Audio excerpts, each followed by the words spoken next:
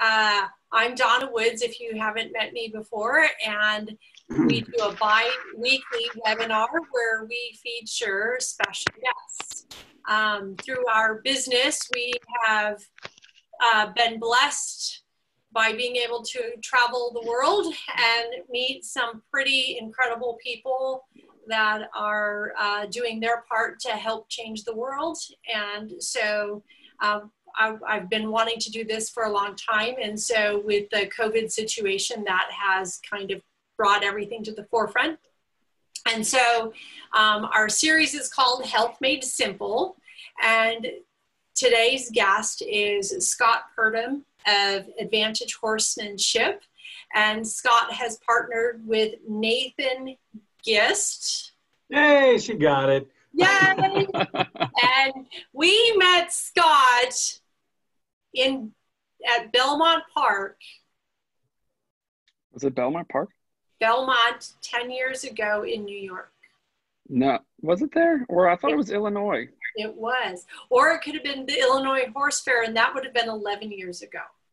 Okay, can we not talk about that far back? It's, I'm feeling really old right now. I know it was before you had kids, and I was listening to your podcast yes podcast yesterday, and I was like, oh, oh my goodness, where where did time go? Right? Yeah. Wow. I'm gonna go cry now because I realize how old I am. Sorry, sorry, sorry, sorry. Um, and it's been an interesting journey for us as well, Scott, as for you. Like we've watched your business learn and grow and evolve, and and you know we've kind of bounced in and out of each other's paths um, over the years, and so we're super excited that we're reconnected with you. Yeah, and hopefully here to stay. Yeah, absolutely, absolutely. So um, today Scott and Nathan are going to be talking about a topic, um, and this is this is going to be related to horses, but really not because fear is is if you're human and you're alive, you experience fear, and so it's a matter of what do you do with that fear and how do you move through it, and do you let it uh, program you into a different habit? Or do you just kind of acknowledge it and move through it and um, and go on? And so um, i'm super excited to have them chat today because i think they're going to talk specifically about um, fear with horses and fear with riding and i have had um, some experiences with my own horses where I have gotten injured, and that's never a fun thing. And um, as I've gotten older, it hurts more when you get hurt. And so, um, and so it's one of those things that I have struggled with and worked to overcome. And so I thought it was a great, great topic for Scott and Nathan to chat about today because Scott, um, I know that you um, prior to COVID, you had done some in-person workshops with horses and riders, and Nathan, you were a huge part of that program as well, and getting tremendous results. I think like when you and I chatted, you had shared that people that were afraid to canter, like during your program, like they're behind you cantering, and you're like, what the heck? yeah, um, it was amazing. So, it was amazing to watch. Yeah. So I am going to be quiet and I'm going to turn it over to you two. But before we do that, um, what we're going to do for everybody out there is if you have any questions, please type them into the chat. We're going to give the floor to Nathan and Scott for the next 30 to 40 minutes. And then what they'll do is we're going to allow the last 15 to 20 minutes um, for Q&A. And if something comes up or if somebody has an experience or something that is really relevant to the conversation in that moment, please type it up in the chat. I will be watching the chat and we have other uh, team members watching the chat as well so that if we feel like we need to um, kind of let Scott and Nathan um, field that because um, it'll enhance the conversation, we'll certainly do that. And so, gentlemen, welcome. Could you Thank please you. just, um, Scott, we're going to start with you because that, I That's mean, fine. I just met Nathan five minutes ago. Um, And you guys became best friends like super fast. I was I really, know. it was really weird watching it to be, to be totally honest from you, with you. Well, for anybody that knows me, they know that I am a geek for learning and especially on cellular programming, habits, belief systems, how the brain works, all of that. I just, it's just like my deal. I just love that. So sorry. No, it's, yeah, no, it's a, it's an awesome thing to geek out on. But first off, I want to, I want to thank you, Donna, for putting this on, and Photonic Health overall for putting this on. Both Nathan and I are uh, very excited to to be here today. That's for darn sure. Um, one of the first, as we talk about, obviously this is going to be about fears, anxieties, confidence in the saddle.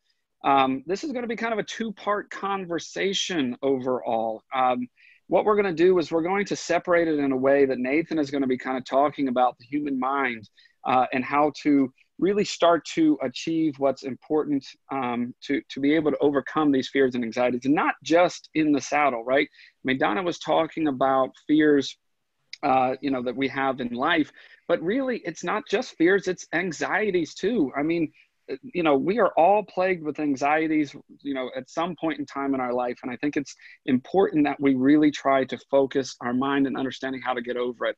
And as Nathan's going to be talking about in the future, or, you know, in a little bit, is going to be talking about how powerful our mind really is. And I think it's going to be, you know, really great for you guys to really focus in on that. But my side, what I'm going to be talking about is kind of the body, the, the, the structure system the piece of the puzzle that is also just as important as the mind, but really they both are going to go together. I'm going to be talking about how to get you to stabilize your seat in the saddle, to really get that not only connection, but really feel that, you know, if you all have been in the saddle, I'm sure from time to time you might feel that kind of waving left or right, or like you, you feel like you're going to fall off at some point in time. And so what we're going to talk about is how to stabilize your seat uh, in the saddle and how to get it literally within 30 seconds. So I'm really excited about talking about that. But before I do, uh, I'm sure some of you don't uh, know who I am. I wanted to just kind of not only just talk about me for just a second, but I wanted to share my story about fear because one of the things that I, I think when I talk about fear, I sometimes, because I'm a clinician in the horse world that, you know, go all, all over the country teaching people, people seem to think that I don't hold any fear.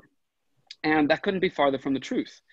And so, what I want to talk about, I wanted to share a story with you that really changed my life forever with horses. And and then we'll I'll turn it over to Nathan here in just a second. But when I was really young, starting out, this was when I got out of uh, college. I went and I was uh, I interned with a gentleman in West Virginia, and he was a, a really great hand with the horse. I was super excited to learn from him. And I was there, and he gave me a lot of opportunities to ride. I got on a, this, all happened kind of uh, um, in, you know, the, the worst things that could happen. It all happened all at once like this. I got on this horse that was an unbroke. He had only had about two or three rides on him. I decided to ride him by myself uh, in a round pen. Nobody was on the farm whatsoever. Now, let me kind of set the scene. I was 18 years old. I was a little, um, what could I say, or how could I say, egotistical.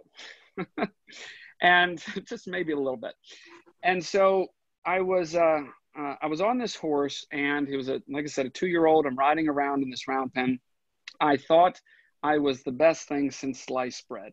Okay, and I'm riding this horse around, and all of a sudden, as I'm loping around, the horse trips and falls to his knees.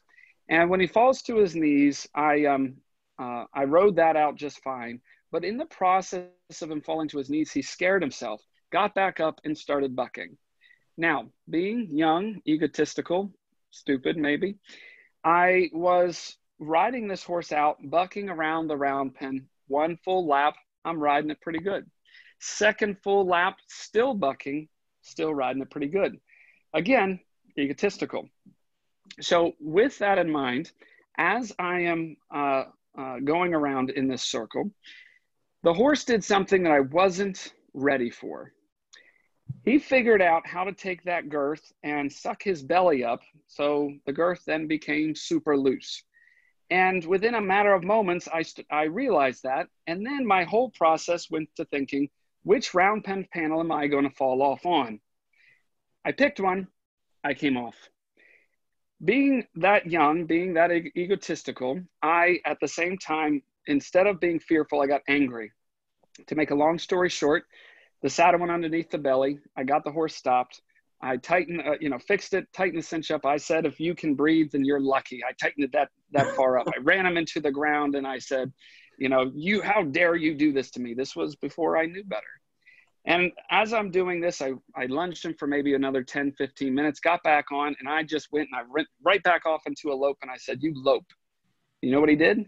He went right back into that buck. And in, even with as tight as I had that saddle, he figured out how to suck his belly up within a matter of moments. And the ironic part of this was that I came off a second time on the same exact round pen panel, two times within 10, about 15 minutes. And after I got up, dusted myself off, fixed the saddle, my hands were shaking. I instantly went into fear. Mm-hmm. And I fixed the saddle, kind of lunged the horse again, tried to get up on. I could feel the tension in the horse. And from that point forward, I walked and I trotted. I did not canter. He didn't buck again, but I got scared.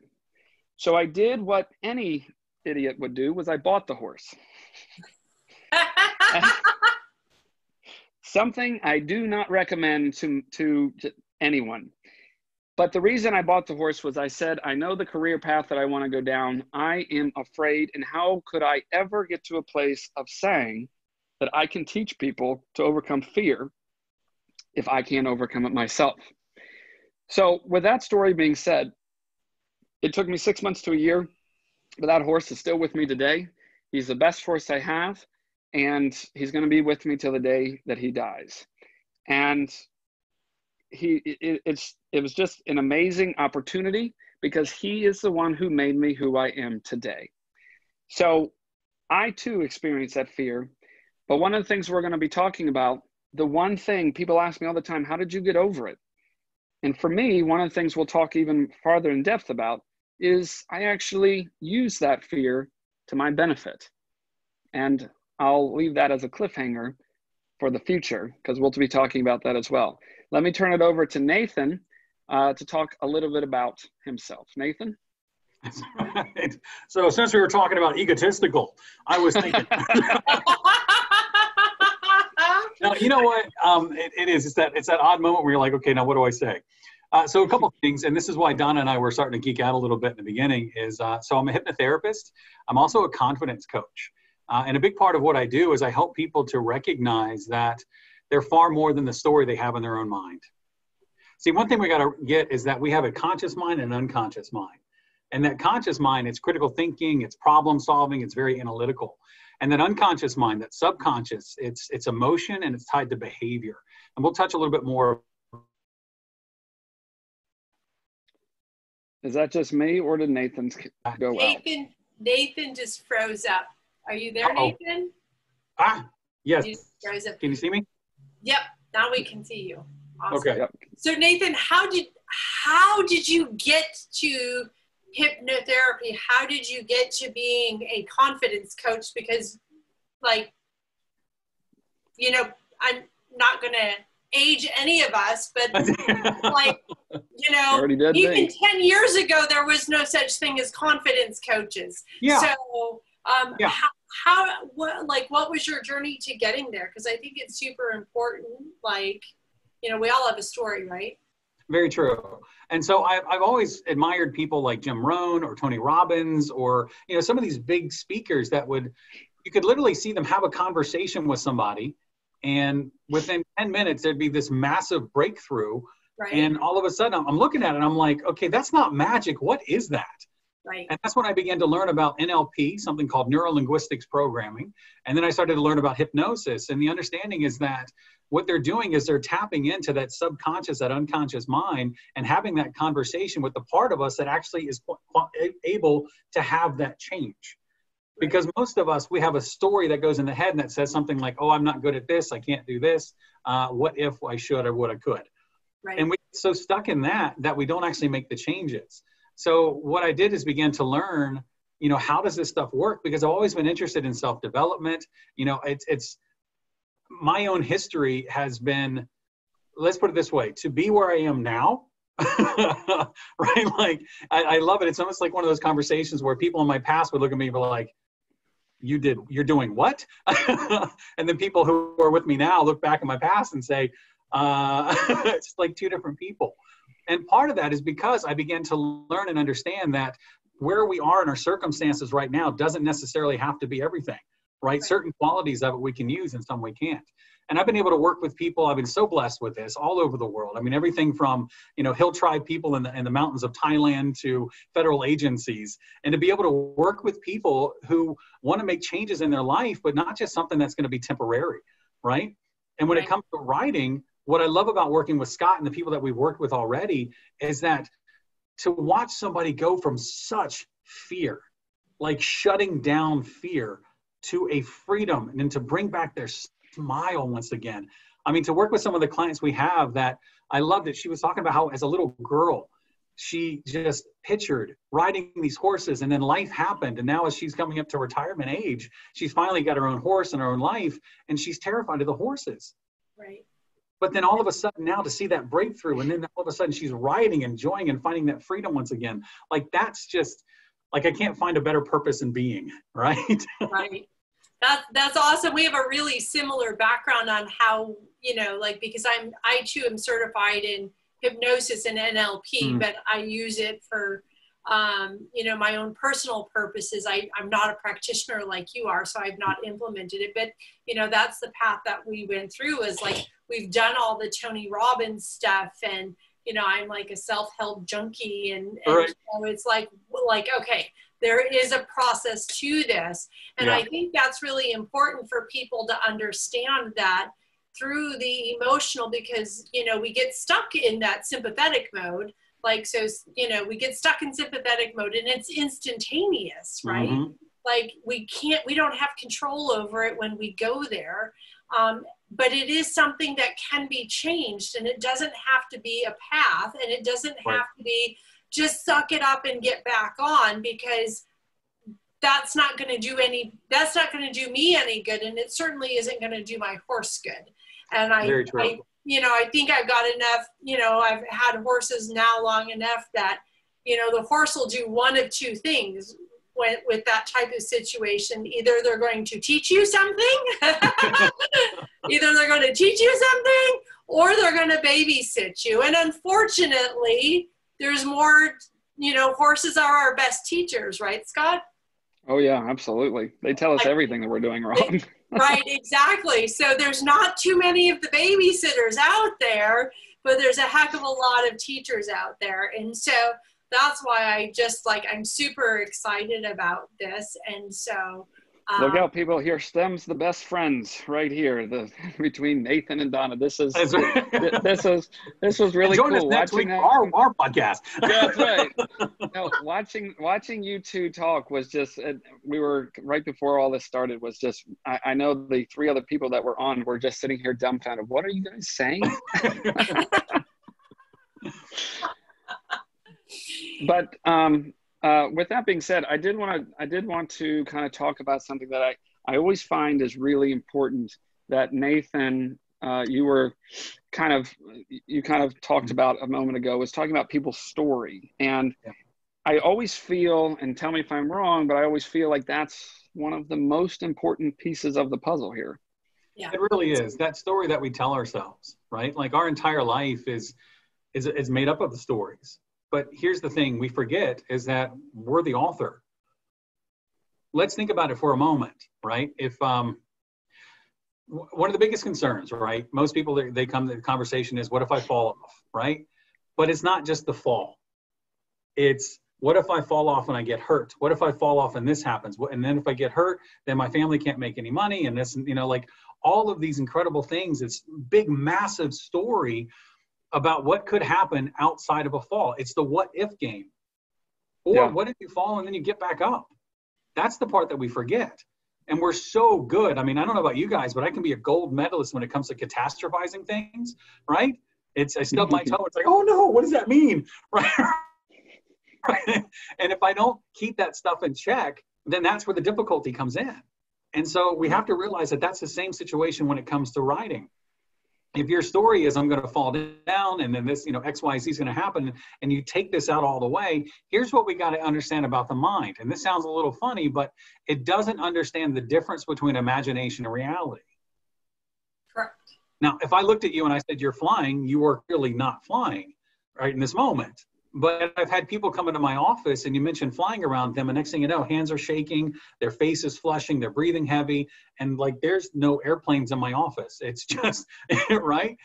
But they're experiencing it, they're having a visceral physical reaction as if they're actually there in that moment. That's why, for a lot of people, they're already feeling that before they ever get into the ring, before they're mm-hmm. tacking up the horse the night before because they know they're going to go out and ride with their friends. I and think so that's an important piece. Oh, I'm sorry. I was just saying I think that's an important piece there, Nathan. Just to just to really put a pin in it here is is it happens that far in advance. That's what we don't always realize is it happens that far. It could be it could be the night before. Hell, it could be a week before. Yeah. Because just the thought of you know putting ourselves in a certain situation will start to to create all these thoughts emotions uh, in our brain. Would you agree?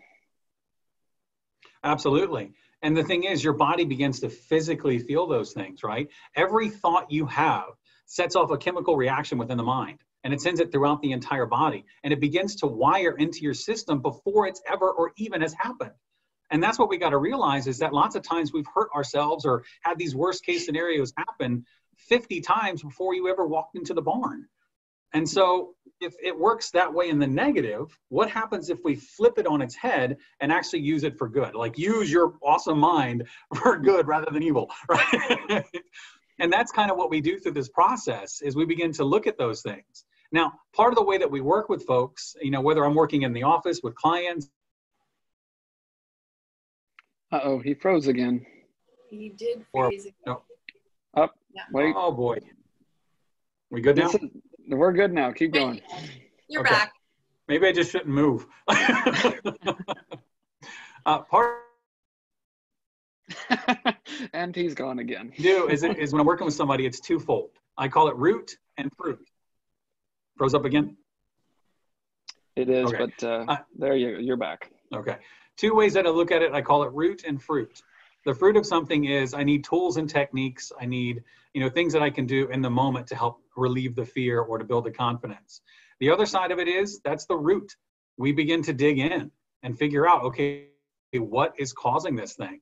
And the beauty of that is that it creates more of a i guess the term is loose but like a, a holistic approach to it where it's it's trying to bring all of these different elements because you're not just one thing right? Even if you think about your own life and who you are, maybe you're a mom, maybe you're a, you know, if let's say if you're a mom, you're you're you could be a uh, you're a daughter, you're maybe a sister, you're an aunt, you're a wife, you're all of these different roles that you play in life. And if you think that you're just one of those things, well, then you're selling yourself short.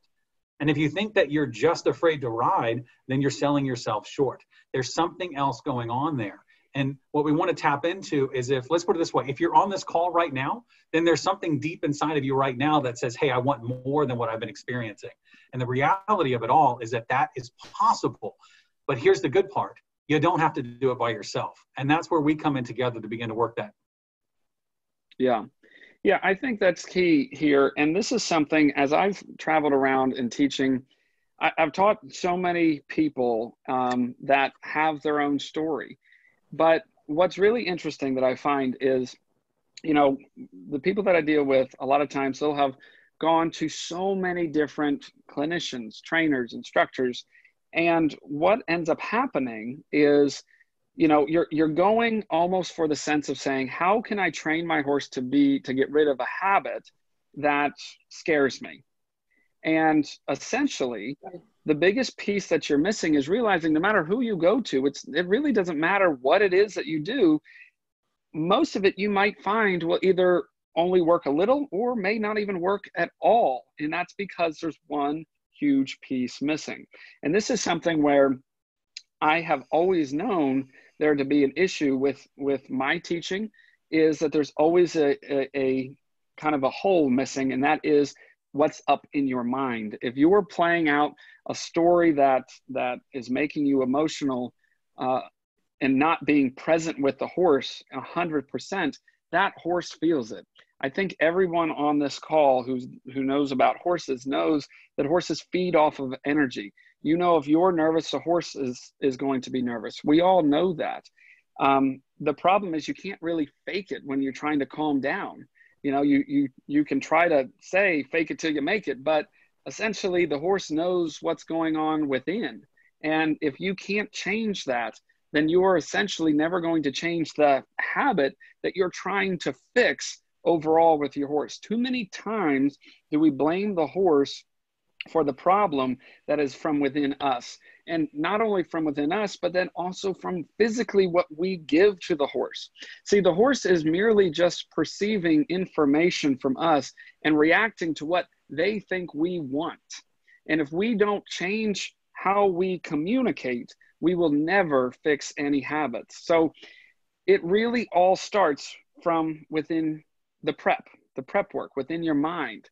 And so Nathan, just a, a, couple of things here that I was I would love for you to go over is what can people really start to do from the beginning before we even get to the barn, before we even, you know, when we wake up and know that we're going to go to the barn that day, what can we do? Yeah. Well, and actually, when you we were mentioning that, it was kind of making me think of one of our clients, and I'll just make up a name. I'll give her, I'll call her Connie. Um, she had ridden this horse and she had this like it was the perfect horse for her. And she had it and it was just beautiful. She had this great ring. She had everything you could ask for. And yet i think that something had happened and she had just stopped riding. And a long time had gone between that. And what was interesting was as we were going through the process together i asked her what would well what i asked her kind of like what's going on for you right now and she talked about all the fear, the worry, the concern. What if this happened? Like all of these terrible things we mentioned before. Um, but what's interesting though is that I asked her, what what would it be like if it was perfect? And one of the first things out of her mouth was, I can't even imagine. Now, here's what I want you to get. That's not just a phrase when somebody says that, or if you're saying that. That's legit she literally could not imagine a perfect ride. She could not imagine getting on the horse and having a good time and smiling and all of these wonderful things. All she could think about was the pain and the agony of it. And none of it ever happened. That's the thing that I want you to get. Like she fell off 50,000 times in her own mind and never happened. So one of the first things I had her do, this was the beginning of it, was I want you to begin. Let's play the game of what if. What if you had the perfect ride? What if you got on it, it was everything just worked the way that it was supposed to? And what that does is it begins to create a, it's called a neural pathway. It begins to create a new neural pathway within your own mind. And the beauty of that is it's something that can begin to grow. It's that first step in the door. So if you're finding yourself right now where you're locked up in fear, whatever it might be, whether it's in life and finances or relationships or you know weight or whatever it might be, what if you could get the results you want? And become the person you want to be. That's the first step. So before you ever get in the ring, like I said before, how do we flip this on its head? Well, begin the process of visualizing yourself with the perfect ride. Uh, there was a, a research project, re- gosh, five, ten years ago now, where they took these basketball players and they put them in something called a fMRI, functional, functional whatever machine. you know what an MRI is? Basically, an MRI, you get the picture of it, whereas a functional MRI, you get to see the video of the neurons and everything launching off inside the mind. So they stuck them in this thing and they used the process of visualization and hypnosis. They had three different groups. They had one group that didn't do anything because they were the control group. They had another group that, uh, that kept shooting um, free throws for another two or three hours afterwards, so a little extra into it. And the third group literally just sat and visualized. Now, before we get into that, I want you to get this. People have probably heard the phrase practice makes perfect. It doesn't. Perfect practice makes perfect. Now, what's interesting though is the guys that were shooting the shooting the three the free throws, um, they had some that went in, some that didn't. Right? They had all these other things that were there. But for the people who were spending time visualizing or using self hypnosis, every single shot was absolutely perfect every single time. Now, when they stuck them into these machines, they saw the brain light up and it, released into the body. The body was reacting as if they were actually doing it. So they were having a perfect practice every time throughout. So at the end, and I'm sure you understand why I said this, out of the entire group, the group that did the visualization did far better than the rest of them. Now that ties into this because if you begin to think about that perfect ride of what's my presence like when I when I'm with the horse, what's it going to be like when I get into the ring, what's it going to be like when I get into the saddle or begin to canter or tra- trot or whatever it might be, that begins to create that neural pathway within your own mind. And the thing is, we can't feel, we don't necessarily feel two things at one time. So if you're focusing on the one area, if your brain is releasing all those wonderful chemicals that say confidence and power and uh, fun and excitement and all of those wonderful things, then fear and anxiety, it might pop up for a moment, but it's just the flash in the pan. Where what we wanted to, go ahead. Go ahead. I'm sorry, Nathan. I didn't mean to interrupt you. I just want to talk about just a point you just said, which was um, if when our brain is releasing all these things that that uh, that you know expel, expel confidence this is one thing that I want to make sure that you understand or or you don't get confused about is that you're not trying to convince yourself to be confident. Correct. Because that is something, you know, like how many times uh, has has anyone ever said, like when you're up in the saddles, anyone said you'll be fine, you're gonna do just fine, just go, you're good. You know, it, no matter how many times somebody says that to you inside, you're like, no, I'm not. I'm really not gonna be fine. This is gonna go terrible. And so the biggest key to that just comes back to that visualization. And i i take it i take it the words i use a lot is just imagination. Yeah right? using that imagination. And so anyway i just i'm sorry to interrupt you on that one yeah. but I, I was going that i thought that was important. Well in that time of imagination or visualization or even self-hypnosis it's all basically the same stuff just make sure that it's an allotted amount of time that you are working on that and I want you to get to this is not just positive thinking. Like I can't positive think myself into being a six foot tall basketball, you know, pro basketball player. it's just it's just not going to happen. Right? Like no matter how okay, it, it doesn't work. But if I begin to recognize going through the skill sets that it takes to do that, you know, maybe I never reach that level, but at least I'm going to qualify and better myself in those areas that lead up to that. So utilizing your mind in a way that is working for you rather than against. And kind of when I talked about that pathway too, um, it's something called neuroplasticity, which means that your brain is constantly reshaping and growing itself. Like it, it doesn't stop. Yeah, a long time ago, they, but there was a belief that you're born with a certain amount of brain cells and you know a certain way that your brain's wired, and then, then that's it. That's you know good luck with it. You know the old the old phrase of uh, you can't teach an old dog new tricks. We ain't dogs. Our brain is constantly rewiring itself and every single day you're learning new skills. Now with that it's kind of like if you think of a path let's just say a path in a field. The only way that you know it's a path is a path is because it's been walked. It's a pathway. You've seen it ingrained. You can see it there. Well it's kind of the same way with your own mind. If you want to create a new path you're going to have to walk a new path and it's going to be a while of treading that before you actually begin to see it. Now, what's exciting about that is that the old path of fear and worry and anxiety, that begins to eventually grow over. And the same way in your brain, it begins to atrophy. So that old fear, your brain can't access it like it does the new stuff of confidence, just simply because it's rewiring itself. Again, you are far more powerful than you can imagine.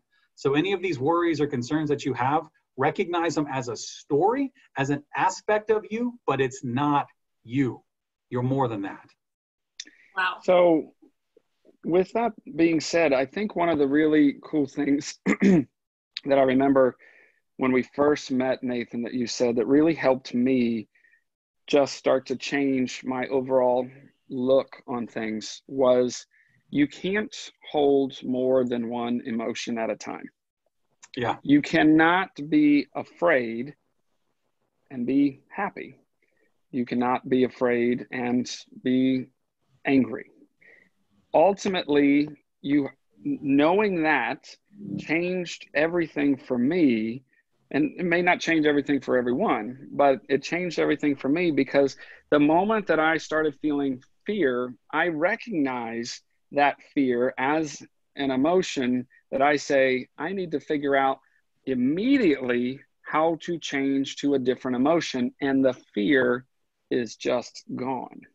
Yeah. And that's powerful because what that does is it actually gives you, um, it's called disassociation right? If I'm associated into something, that means I'm feeling it, I'm experiencing it's everything I am in that moment. But if I disassociate from it, then all of a sudden now it's not just I am fearful, it's I am experiencing fear. And that little tiny gap right there offers you the opportunity to create a change. If I'm feeling that, well, then I can feel something else. And one thing that we want to get to, and we'll chat about this as well, especially when um, Scott's talking about your body positioning when you're in the saddle and those things, is that movement moves emotion.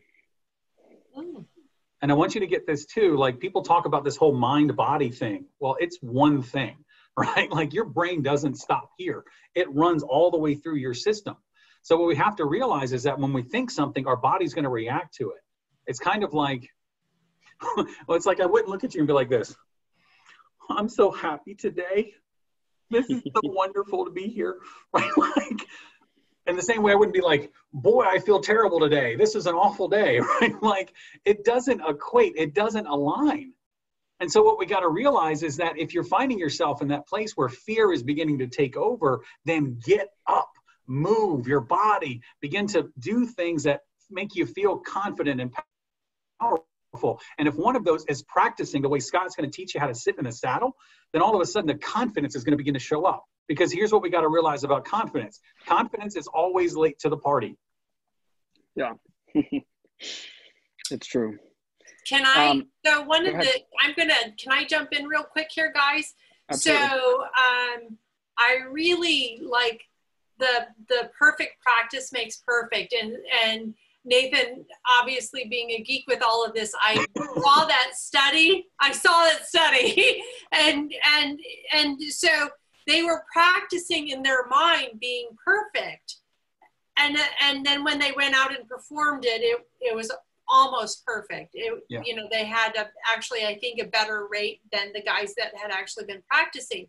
So this is and and so I'm going to just Scott. I think well, what, either one of you can answer. So um, I experienced an injury in the saddle a couple years ago. It had nothing to do with my horse, and I did not fall off of my horse. Did not fall off of my horse. She did nothing wrong because my horse is perfect. um, she's a really good girl. Um, but I did have an injury. And so it's taken me a long time to get back in the saddle. And so several weeks ago, I was back in the saddle. And um, so I was riding her, and the rest of my herd that was outside of my arena decided that they needed to have a party. and i.e., running around and running and bucking and just being crazy. Well, my girl was really good for about three minutes, and then she was like, okay, I, I'm done being good here. Now, I got off at that moment in time because good decision. You know, right? Um, however, Scott, so I can write it, I can in my mind visualize and get prepared and be in that positive space. Would that technique also work? Because we're riding horses, right? We're riding a prey animal it's if if we don't want to get hurt, we shouldn't have horses. right? Right. You don't want to get bucked off, that, never get on. That, right. It's not that we want to get hurt, but like we're riding 1,200 pound animals that have that are emotional creatures, and so you know we're at a different risk than somebody riding a four wheeler. And so, so my ahead, question to you is for for me and i think everybody out there as well should i be practicing perfectly in my mind what to do when those situations come up? The all important question what to do when the fecal matter hits the oscillating blades, right? right. That's the that's the key the key question here. And so I kind of said this earlier that we were going to talk about, which was being able to use your fear to your benefit. And what I mean by that, it comes right back to this imagination. One thing that I find, or, or, I feel, I personally feel that makes me the rider that I am and the communicator that I am with the horse is my imagination, but use it in this way.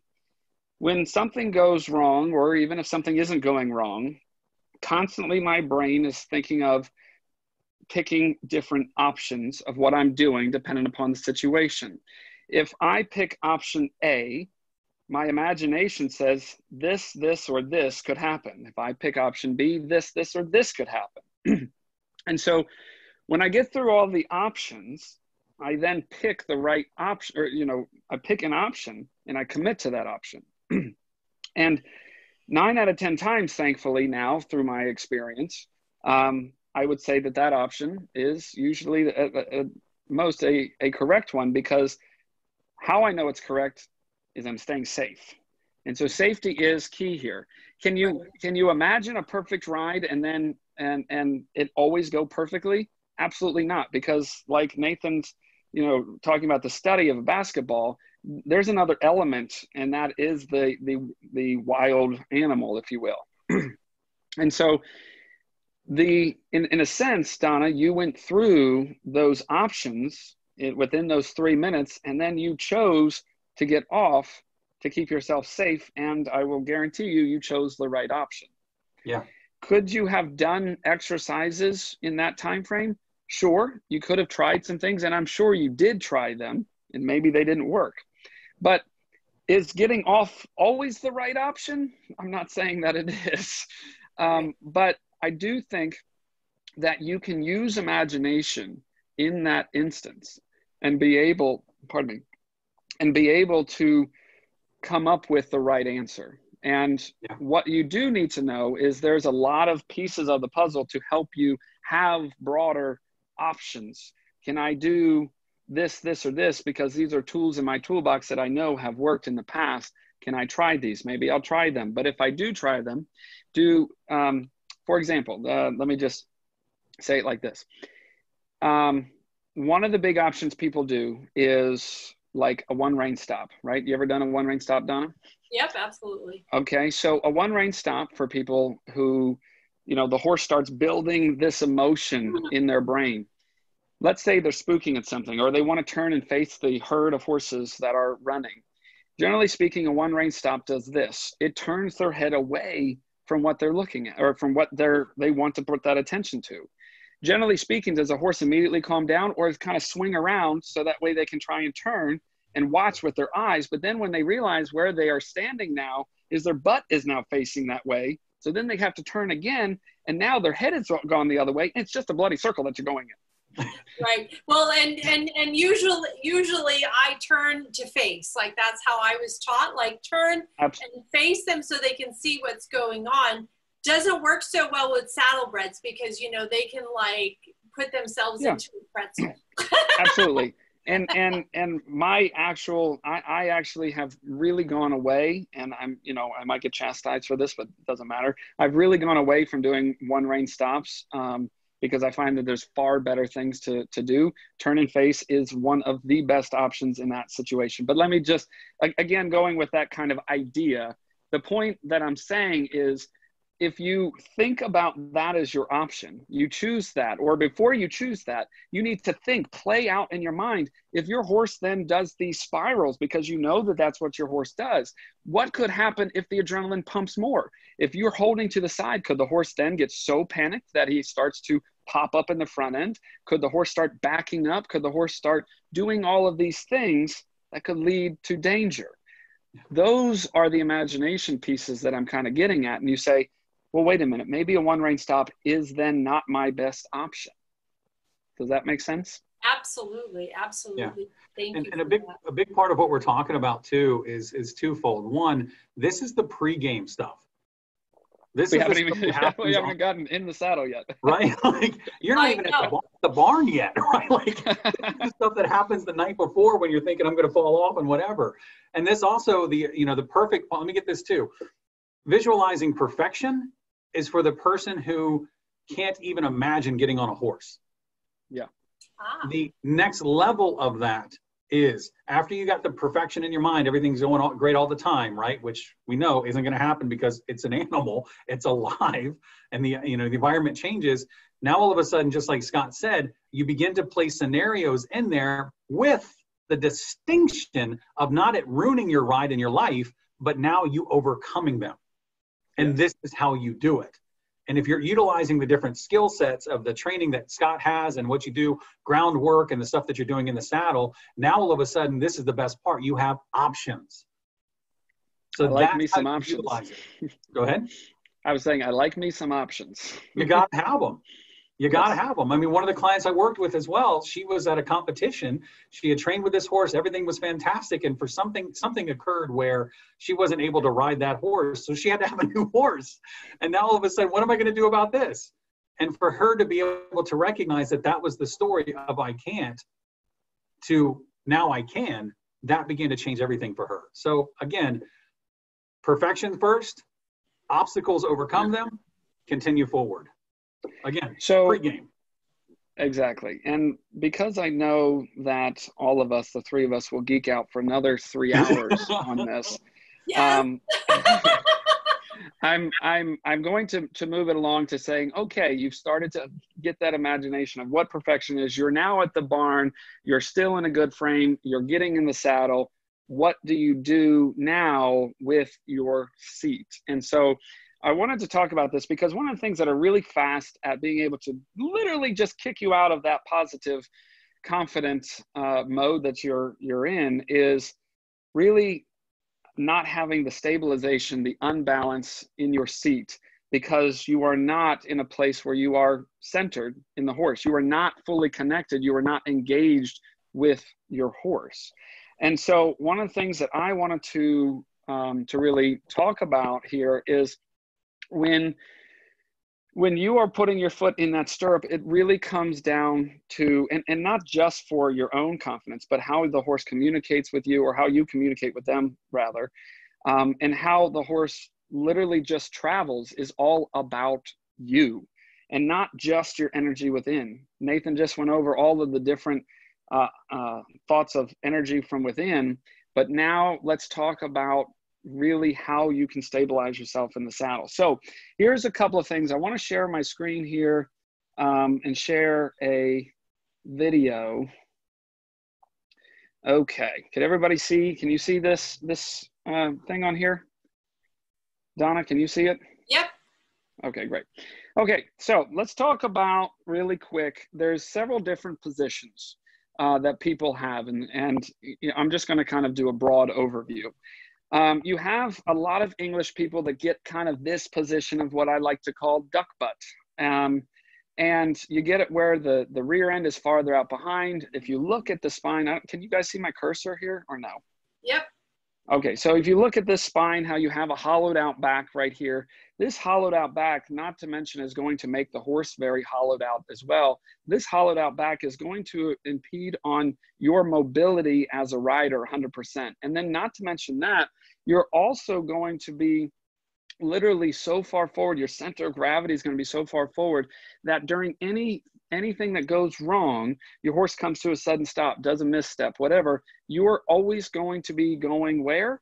Over towards the ear because your your center of gravity is forward okay? Now with that being said uh, from this position you then have the next position here if my little play button would go away um, you have this next position that we tend to see more in a Western rider, where they're kind of sitting on the rear end, leaning back, feet are forward. And you think, like a lot of people think, well, this is going to really give me that stability because I can put weight through my stirrups, I can brace down onto them. If the horse were to start bucking or start doing anything wrong, I can then have that ability to stay in the saddle. And you couldn't be farther from the truth because still your center of gravity is now farther back which is then going to always be behind the horse. You will never be with the horse. And with that in mind, you will never be able to communicate 100% effectively. So I wanted to talk about now how can we fix these issues here, okay? So the first thing here, I'm going to kind of show this rider and I'm going to pause it frequently here. Hopefully the video comes through uh, well here, but um, as I pause it, notice what I'm going to first do. I'm going to show you what I'm, or tell you what I'm going to do, and then I'll play the video. I'm going to, to see with this rider if she can be stable, and I've asked her to use all of her strength and her core, which if you've ever ridden in an instructor, maybe you've been told before you need to have an active core to ride. I'm going to show you today you really you really don't. You don't need a tight cord to ride your horse and i'm going to show you why. So i've asked this rider there's no audio it's just me talking. I've asked this rider to tighten from these two positions tighten her core 100% and then i'm going to push on her from the front and then i'm going to push on her from uh, from the back and we're going to see how stable she is. So you see it really took absolutely nothing for me to be able to push her and there, you can even see her smiling there. From there, it took absolutely nothing at all for me to be able to push her forward. So you had two different positions, right? You had the one, again, where they're leaning back, and then two, where she's sitting forward into the duck butt or the start of the Superman position, where it took nothing at all for me to shove her out of the saddle. All of her weight and center of gravity is up high. So, can you imagine right now, even just at a standstill, how you could easily lack that confidence if a horse were to take a misstep of any kind? If the horse were to trip, if the horse were to get a little spooked, and you can easily just like that be coming off the horse. And immediately your mind is going to go in a negative place. So, stability is everything. Okay. Now, with that being said, let's start talking about how do we fix this? Okay. How do we put ourselves in the right position here? So let me just kind of bring it back up. Okay. So the first thing, we're going to separate this into three different parts. The first part and the most important part, the thing that's going to get her stable right from the beginning, is to be able to work on her midsection. Okay.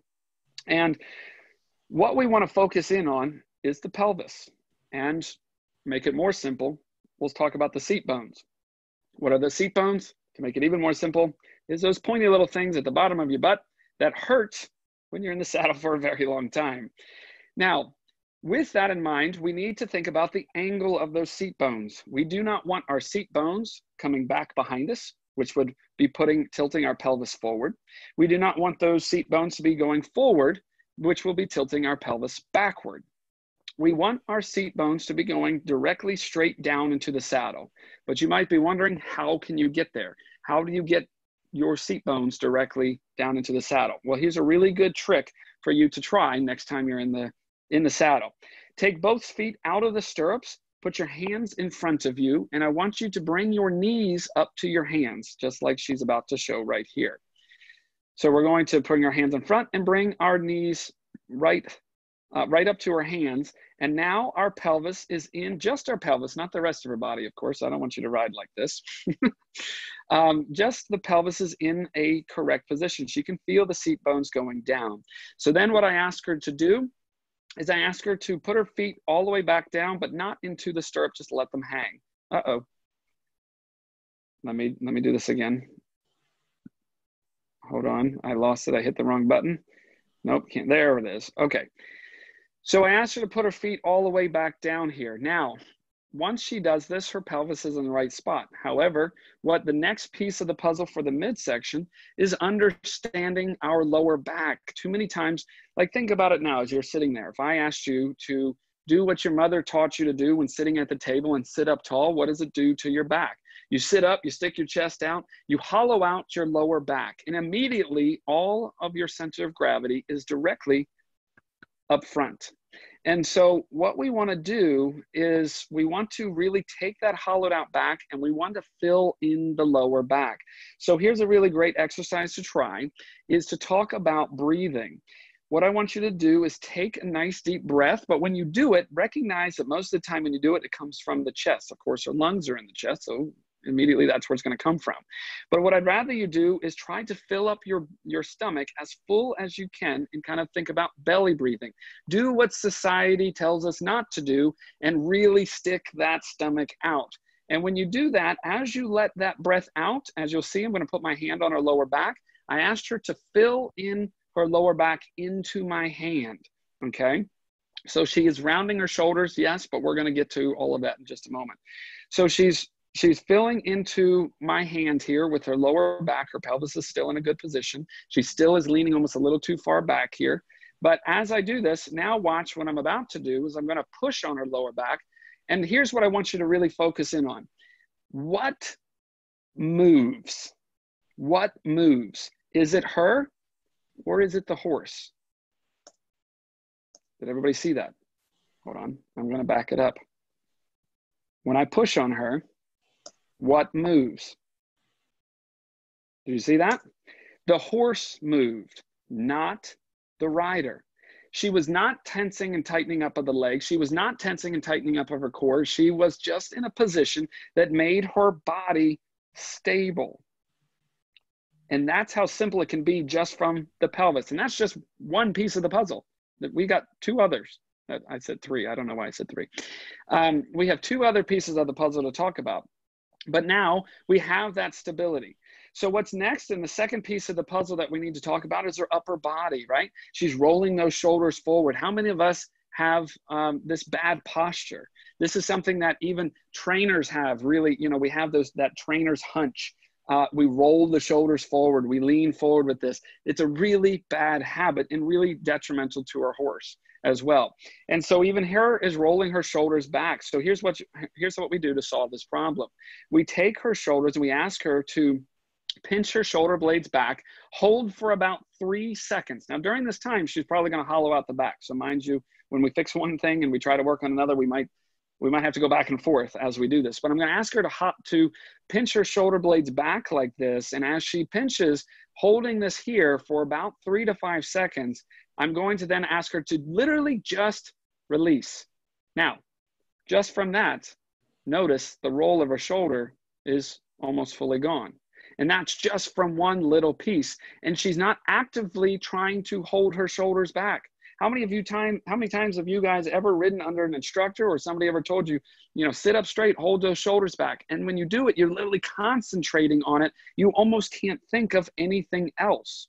So with this being said, what we start to do is we get those shoulders back. The next piece of the puzzle here is to be able to then work on her, uh, uh, how her head comes out of her uh, neck there. So notice what she did right there was I asked her to pull her chin back directly straight back, hold for about those three seconds, and then let go. And if you notice where she let go, her head is now in a much better position. So we're going to ask her to fill out her lower back again, and then I'm going to push again. She's still very stable. Now, the last thing that we're going to work on, so I don't take up too much more time here talking, is I noticed, notice I just shifted, ah, I just shifted her leg and when I'm shifting her leg, I'm rotating her pelvis back in here and her hip flexors a little bit in. A lot of us ride with our toes out. Have you ever been told riding with your, you know, turn your toes in? The more you try to turn your toes in, the more your your uh, your legs hurt. Really, your toes are out because your pelvis is open. So I say take the back of your thigh, pull it out, and rotate the pelvis. That's what she's doing right, or what I'm making her do right there. Then what I'm asking her to do here is I'm going to ask her to wiggle her toes, keep her ankle loose, and push down and back into my hand, which you can't see very well because of my thing. Um, push down and back as far as she can with her hip flexor. So that way pulls her leg farther back. I bring from the knee her feet back into the stirrup. Shift her leg just a little bit. Tell her to push, put weight through her back. And I'm going to push and she's in whoop, a much better position. Now, from that, from that right there, there, from that right there, we're going to now just quickly go over, because I'm taking up a lot of time, quickly go over then the connection of what's important. The only way that you can get true movement with your body is to have this position because so many times the next time you ride here's how you can tell whether you're in the right position. How freed up are you through your hips? Are you able to actually move flowingly with the horse? If you are in that duck butt position where your your seat bones are out behind you what you're going to notice is that you physically can't actually move forward with your position or with your hips. You only can go backwards with the horse. So if you notice this right here, this part of the video, she's really focused on driving through her seat and being connected through the horse's uh, through the horse's rear end right here. And this right here, that movement is going to not only get her better communication, and we can go a lot more in depth. I geek out on this part a heck of a lot more, but this will instantly get that stable seat. And if the horse starts to travel or move in a direction um, that is not wanted, she is much better off or more likely to stay stable in that saddle. So, with that being said, I know I sometimes geek out on that, uh, and my apologies for taking quite some time with that. But um, this is one of the most important things. I'm going to go ahead and stop sharing this here now. If for some for some reason uh, people want to see this video, uh, it's just a a quick, easy video. Um, but if people want to see this video again, we'd be happy to send it to you. And if you want to, uh, you can either uh, put the your email in the chat box or email us to, you know, to, to for us to send it to you. We would be happy to do that. Uh, no charge or anything like that. We'd be happy to send you uh, this video. So um, with that kind of being said, these are the major pieces of the puzzle. It shouldn't be just talking about your body because your body can only do so much. But if you unlock your mind, like Nathan was talking about, which Nathan is still muted, uh, in case you didn't realize that, Nathan. um, if you unlock your mind, you can then get to a place where you can truly connect with the horse one on one. Nathan, have you figured out how to unmute yourself, by the way, buddy? It's in the lower left hand corner. It says, should say unmute. and um, You'll unlock him? Uh, Alex, can you unlock Nathan, please? we really didn't want to hear from you again, Nathan. This was my subtle way of saying no. stop talking. there it is. There we go. I'm sitting there. I'm like, it says the host locked me, and I'm like, okay. See, I sent her a message on on Instagram. I said, just shut him up. right. Um, um, wow, you guys, like, holy smoke! That that that like you both provided so much information, and what I loved were strategies that um, my audience can actually go implement, like right now today.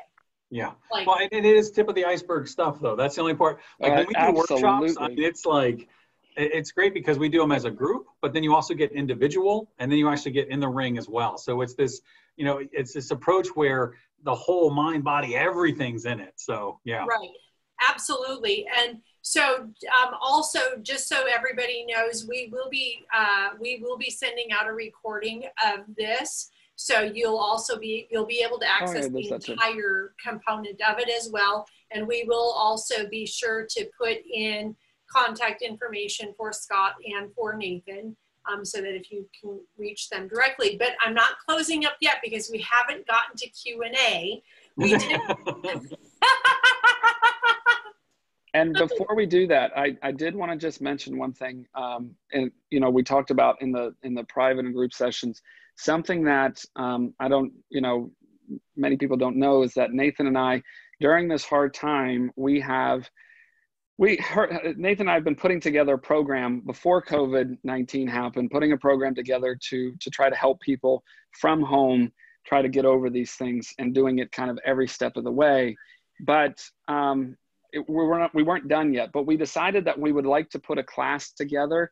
Um, and Donna, I wanted to tell you about this because we're not only putting this class together, it's very limited. I think we're see the 20, 30 spots that we're doing, but it goes more in depth than pardon me, than what we just did here.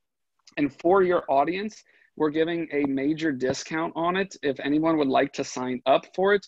Um, it is a course, a class that we're doing on hold on, I'm losing the date. Uh, May 23rd. It is a another Zoom type class, but we're going to go even more in depth, and we are giving uh, a discount on this uh, for only $49 that we can really try to help. See, like right now, if you have so many people on, right, we can't really help and understand their story. We want to try to help people a little bit more in depth if we can. And so we're putting on this this uh, this class. We would love for people to join. Um, and uh, um, if anybody's available, and if you can't join, you know, live, we certainly send the recording to to you as well. But of course, you can get even more out of it by asking questions and being a part of the story uh, as we do it. So that's something that we are offering. Um, and Allie, um, who is not who's on live, but you can't see her, she's going to be posting a link in the chat room for people to be able to go and sign up for that. Um, but if you, would have to do it here pretty soon because we'll be putting it back to the regular price here soon. So hopefully you guys uh, will be able to um, uh, to join us for that. Awesome. Yeah, and if you are interested in individual coaching, that's available as well. Um, you know, this, my websites are there. Scott's going to have his. So it is a chance to, because I worked with a lot of folks re- literally all over the world. Um, and a lot of this stuff is kind of digging in and figuring out, okay, what's going on. Again, you're more than your story. And as you begin to recognize that, anything and all things are possible. Yeah. Awesome. I, I know that I'm going to sign up because, you know, it's just, um, we've had other people have have stories, and all of my injuries, ironically, have happened on the ground. I don't know if that's a good thing, um, but but and and I and I I, I shouldn't say that because I've I, I've only I've been blessed. I've had horses for 24 years, and I've only been injured um, like three times. Mm. So um, so mine has more to do with you know the story that other people told me you know? Yeah. And yeah, probably and, the what ifs. Right. Well and if you start you know like so it was you know trail riding trail riding you know that's all brian and i did for like the first first part of our riding experience was we would go try trail riding in the woods of wisconsin every weekend nobody told us that that was considered the most dangerous sport horses, you know? And so then when we started taking more lessons and and getting involved in you know more programs you know everybody kept saying oh my god you guys are trail riders oh my yeah. god that's so scary that's so scary and i know how the brain works now now not right. back then right and so i know that my brain got rewired to don't go trail riding because it's really dangerous. That's it. Yeah. And um and so it's just amazing how our brain does that without us knowing it. yeah. Well, and, and, the thing too is that it always it, it it makes really quick connections and associations yeah. that again, if you were sitting there think, okay, now I'm going to go take this workshop to make me a better writer, but I'm going to come back more more, more fearful, right? it, wouldn't have been the case. It's right. just we have to realize that because it makes us associations, we have to, if we recognize we're going one direction, we got to rein it in, right? Yeah, yeah, absolutely. And and I love Scott the correlation, like just the foundation of if you've got a rock solid seat, you're not gonna, you know, minimizing those bobbles and those off balance because that can you know i, I have a, a friend that she was riding and the horse got a little scared and a little up and she's a very seasoned rider. She went right into sympathetic mode froze and literally somebody had to come take her off the horse because she just and so being able to go, oh, wait a minute. Now, if she wouldn't have had that experience, if she would have had that rock solid seat, you know, she could have, you, you know, shoulda, coulda, woulda. But, you know, my brain just goes like, that's a great tool to have. That's a great foundation to be able to have that. And, and as a strategy, in addition to the, you know, the what if strategy and the visualization so um, it's already 512. I just want to take their, um, there were a couple, several scenarios that people have gotten injured on the horse. Um, there have been several scenarios, but so this is a really interesting one that I would like you guys to answer. Um, it says, uh, I have a, my question is from Hannah Mari, and um, it, it says, My question is about a frustrating phenomenon where I am fine in the situation when things are happening. The horse bucks, trips and falls, spook. I feel calm and in the moment, just focusing on the best action. However, a little while afterwards, I start becoming anxious about whether I can handle the situation if it happens again. It is unfortunate because the actual history shows that things can go well, but I still get anxiety about it. Nathan, I'm going to let you take that one, buddy. Sure. Um, so, a couple things to look at. It's kind of like um, our body's going to react a certain way like that's that's just the reality to it right if it's a scary situation your body's supposed to act that way right fight flight freeze kicks in on purpose because that's the instinct. You don't want that stuff to go away because one of the things that scott will say too is that if you don't have any fear at all then you're reckless. And that's even more dangerous than if you were scared. So that feeling that happens afterwards begin to embrace it. And i know that sounds really really odd but i'll say this like i've I've done public speaking and I've spoken everything from you know groups of 500 people to literally 2,000 or 10,000 people in a, in a stadium. And with that, there's been times, years now, that I've been doing this stuff for decades. That before I go on stage, I'm sitting there and I'm like, can, can anybody else hear my heart beating? Right? right? is that the drums or is that me? right? And because of that, that's a natural physical reaction. The difference, though, is I flip the meaning of it. It doesn't mean that I can't. Does it mean that sometimes I get up there and all of a sudden my breath gets shaky and my hands and whatever? Yeah. But after about 30 seconds, that stuff goes right away. And afterwards, your body is still going to release those chemicals into the system because it's still part of that adrenaline rush. And if that, if and when that happens, cool make it something where it doesn't have the meaning of oh no i can't turn it into the meaning of yeah i did and i'm awesome right right like and it's almost like when you're going to go for a roller coaster ride right? right. Like there's fear that's there but that's that fear that's like i'm going to do something fun and this is going to work out. Well you've already conquered the mountain so good on you just shift the perspective and recognize you got this. And something to add to that uh, a little bit more is even in that moment, in that situation, one of the things Nathan even said earlier is understanding movement and how, you know, if you're just sitting there locked up, you're going to build even more. So get up and move, right? Well, this then brings back to the practical uh, use of the stable seat because if you noticed in that ending part of the video where the girl was walking and really moving with the horse, that movement can be just enough for you to start to think, let's drive, let's move our feet, but in a positive way. That doesn't mean go run and do, you know, all that stuff, but really start to say, I'm helping this horse every step of the way. In the moment that you start to even see that the that the option could turn in the direction that's negative, you are you, you need to at that moment to really even drive more more movement because the more unlocked the horse's body is the more unlocked the horse's brain is or the calmer the horse will then become now i don't want to necessarily go into so in depth on, on how to calm the horse down necessarily but that's one of the biggest pieces of the puzzle because the moment you shut down your horse doesn't want to actually be against you in the tempo and the rhythm that you provide.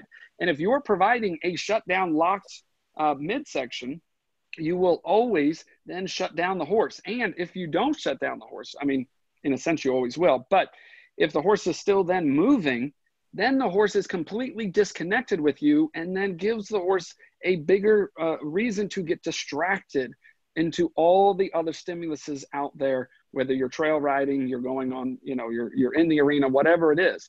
You need too many people are thinking that it's just you, you sit there and you and you just go have have a ball. And while that has its place, you generally need to realize that you need to ride every stride. You need to be there for your horse all the time. This is no different than the car that you drive. If you literally are behind the wheel and just say, Jesus, take the wheel, then you know where you're going to end up And the horse is the same way. You have to be there every step of the way. And so I love that. I, so, I love that. And I love that you guys touched on something, and I just had a big aha. So you touched on something about the fear in the movement, and you have to move through it. And so Tony Robbins, if anybody's ever been to a Tony Robbins event, this is my big aha that I just have. Tony will make you sit down and and write down like all of your biggest fears. He'll make you write down like all of your biggest dreams, which can be really scary. And then he cranks up the music so loud that you can't hear yourself even think, and you have you have to get up and dance and you have to move. So I was like, now I understand why he does that. Yep. Yep. yep. And that's, that's also that adds into the confidence always shows up late. Right? Yeah. Like that's the confidence shows after you've done that 50 times, right? like if she's experiencing that, okay, cool. You've made it through every single time. You've all of those worst days. Right. right. So I'm gonna I'm gonna ask one question, and I know that we're out of time, but can like can we just just talk about one more thing because it's come up a couple times. Um, so we had uh, Susan Hilton, who is a great client of ours she took an online course last year called Fearless Riding, um, NLP, and she said it helped her where she didn't get nervous going to the barn, getting on her horse, like they helped her through that. The problem is she just can't ride some places on the farm. And she also gets very nervous when other riders are riding the trot or canter around her. And she just freezes and she'll just usually get off and walk her horse back to the barn. Um, and not not to interrupt, but is there any way that we can get the answer to this question? Is the horse nervous as well? Is that what stemmed her to be nervous? I mean, actually, I think the stemming was far far previous from that, but is that initially what sets off the, the the fireworks in the mind? Is it because those certain parts the horse gets nervous too, or is it just previous experiences i guess that would be that would help me a little bit to well to and i'm i'm well. going to go i'm going to segue in um, anita hall um, she wants to so let's just go from the anita says advice for when you need to shut out negative nervous other riders around you and you cannot get away from them in that situation their fear makes it tough to be confident so um, let's go from that premise because I know that, you know, like when I'm around, like, you know, like when you're trail riding or something and somebody comes cantering up behind you and your horse is like, what's going on? Like, yeah. how do we so, do, what do we do within our own body? So I think what I'll start with this and Nathan, you can, you can come in if you hear anything that you want to add to. I think what's important here is understanding being in your own space, being in your own world. Too many times are we in our own world at the wrong times. we need to be in our own world with our horse all the time when we're around it. In fact, we need to literally isolate out everything else that's going on and focus just with our horse. And when the horse has some kind of spaz attack or some kind of issue, the biggest thing that you need to think about is I am here for you talking to the horse, I am here for you. Let me help you understand that I'm relaxed. Let's go have some fun and let's keep moving. Because here's the problem is it's a snowball effect, right? Your horse hears the cantering, maybe most likely before you do. You the horse the uh, the horse coming up behind is becoming louder and louder towards you. Your horse starts to react just a little bit, and then you recognize what's happening. You hear it. The adrenaline starts to pump within your own mind. You start to tense and tighten. Then your horse says holy crap she's tightening. Now i need to tighten. And the snowball gets bigger and bigger until the horse is finally gone and at that point though your horse has already exploded and so with that in mind you need to stop the snowball before it happens Okay, now there are things that you can do to kind of help your horse, yes, get over other horses in the arena. There are exercises that you can do, but that's kind of that's not exactly what we're we're discussing here today. We're right. discussing what to do with yourself, uh, essentially. And so you need and, and nathan you can correct me if i'm wrong or if you have anything to add with this but you need to be in your own world in a sense that you drown out everything else. And when you can start to try to do that when your horse takes that first nervous step that says you know things aren't going right you need to be the calming voice of the of the herd. And if you're not it will always end up um, bad it, it, there's no option for it to get better, if that yeah. makes sense. That's and, and it's a great way to put it. The other thought, side of it too, and I work with a lot of military folks because of where I'm where we're located. Uh, just about an hour outside of DC. Uh, a couple military bases. So I've worked with some of the secret ninja squirrels and that kind of folks. And these are people who are in incredibly intense situations. And it sounds odd and it sounds funny and it might even sound ridiculous, but that's exactly what I want you to do is I want you to make those situations ridiculous. You've already ridden horses. You know what to do. Like I don't need to sit here and explain to you how to get on the horse, what to do, and all these these other things. You already know that stuff. It's wired into your system, assuming that this is not your very first ride. The only difference in that circumstance is the meaning and the, the, the associations that you're creating in your own mind. So what we got to recognize in that is begin to make those situations ridiculous or funny or light. Because when somebody comes into my office, and I've dealt with some hardcore, painful stuff with people over the past that have gone through stuff I wouldn't wish on my worst enemy. But are you talking about my session with you, Nathan? right. But if that's the only place that I see them, because that's the only place they see themselves, then it's going to be really difficult to, to pull out or to, to dig out of that pit. So what we got to begin to do is create a little levity, even in the toughness. And with that, if you're in that ride and you got all this other stuff that's happening around you, I know it sounds really silly, but put a smile on your face, or bring up a chuckle, or or you know, there's, there's enjoy it. I, go ahead enjoy it. Enjoy it. Like that's why you're on the horse in the first place. The chances are nobody's making you do, go there but we make it into this difficult powerful overwhelming painful thing and you're doing it for fun. So remind yourself of that constantly. One of the biggest things i have people like after we do our sessions and we go back and work with scott in the ring i look at him and i say where's the smile?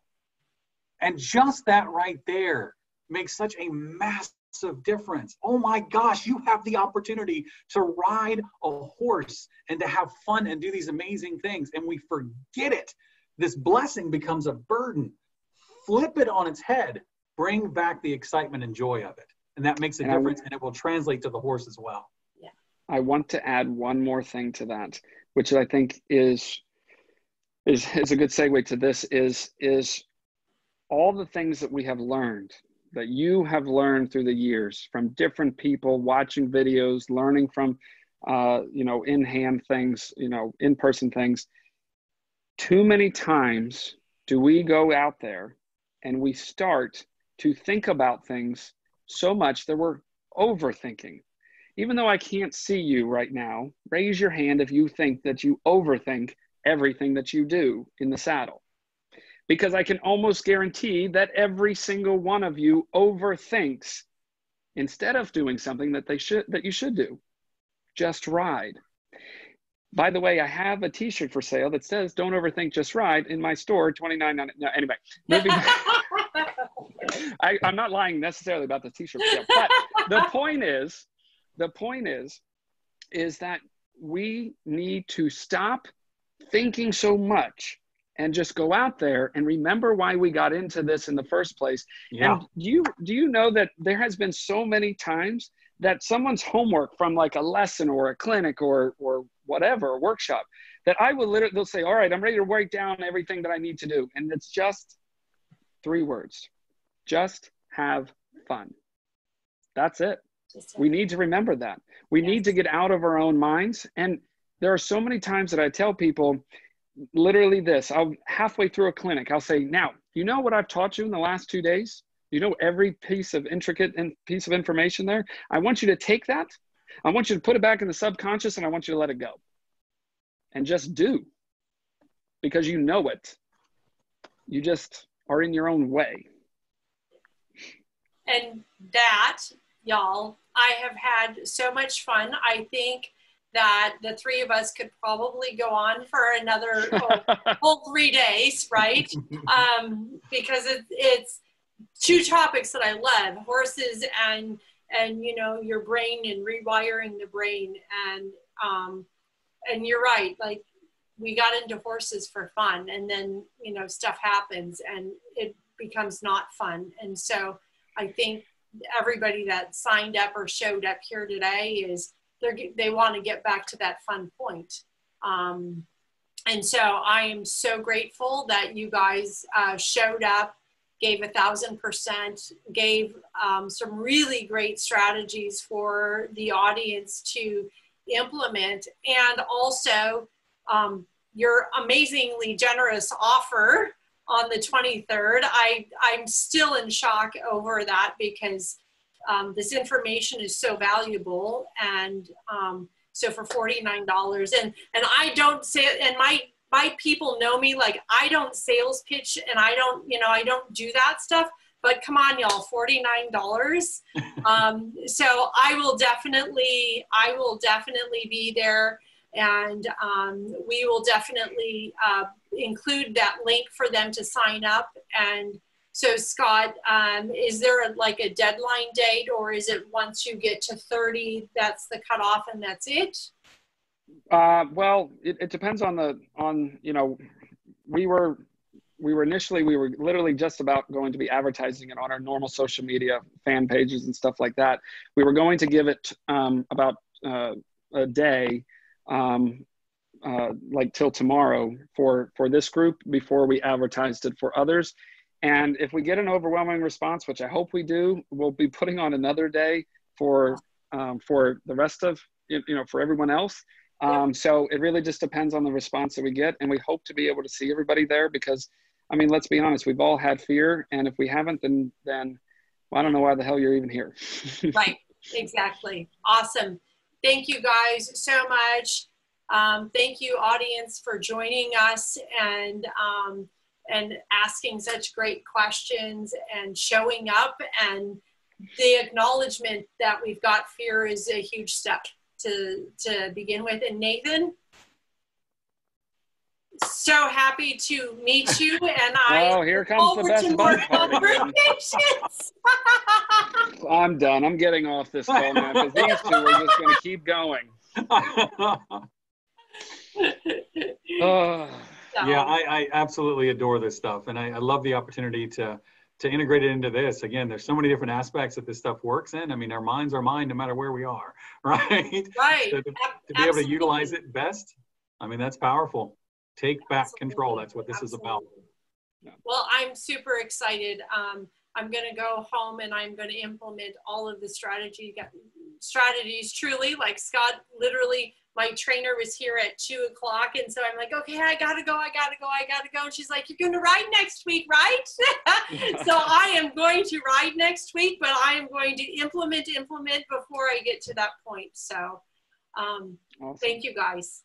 Thank awesome. You. Very welcome. It was a great time seeing everybody and, and, uh, and talking with you all. Thank you.